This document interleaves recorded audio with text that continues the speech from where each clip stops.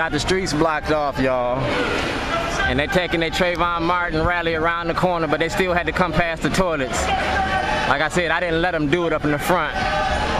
But if they do, they're gonna circle around the toilets if they like it or not. If they like it or not, they gotta go around them toilets. So I'm here regardless. I still get what I wanted.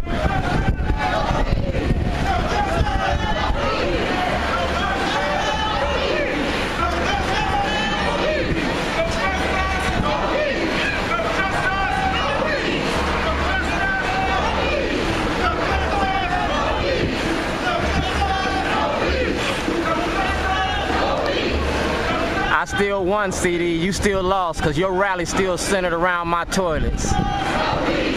If they like it or not.